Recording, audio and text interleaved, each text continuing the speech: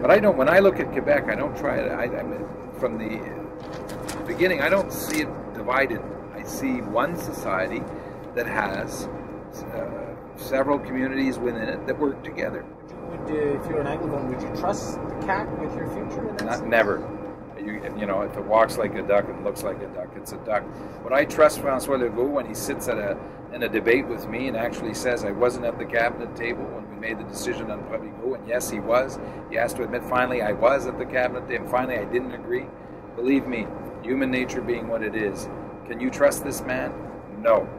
Do you think that the Parti Québécois under its present leadership has become a xenophobic party? I wouldn't use that word. It's become more extremist, Don. It's more extreme than I've ever seen it. And there's a reason for that. I think Madame Marois has made compromises on her leadership to preserve her leadership.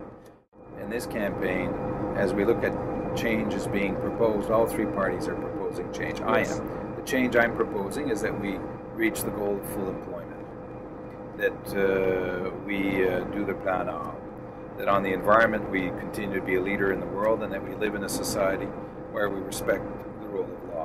The change proposed by Pauline Marois is instability in a referendum and divisiveness, and the change proposed by François Legault is uh, another version of Madame Marois light in, in terms of referendums. Referendum light plus, plus, frankly, a program of turmoil, which he, he, he himself describes as, as turmoil. Yes, he talks about it, Tom Petty.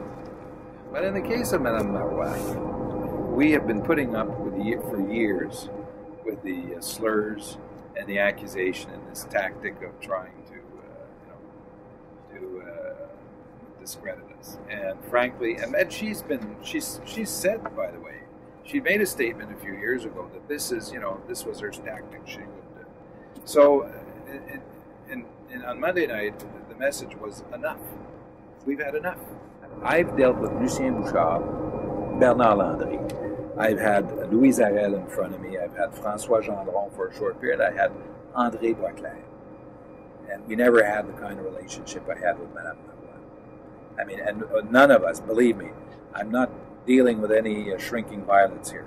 Lucien or Yeah. Bernard Landry. Yeah. I mean, this, Yeah. is, this is not, these are not people who are known as being, uh, you know, so no, they they uh, they get up and they defend their, and so do I. But it never soured the way it had with Madame Marois because she took a very different tact.